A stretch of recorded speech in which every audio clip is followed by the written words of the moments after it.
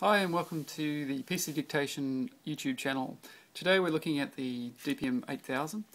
Had a few calls asking how does the recorder work, so it's pretty simple. You've got a slide action record switch on the side here. Just slide it up into record. Uh, you can see the seconds sort of moving along here in the bar. Once you want to stop it, just slide it down one notch. If you want to rewind back, holding that down, let it go. You can pause it and record over the last few seconds of that, and that's what that's what we call uh, full edit recording, where you've got full control over it.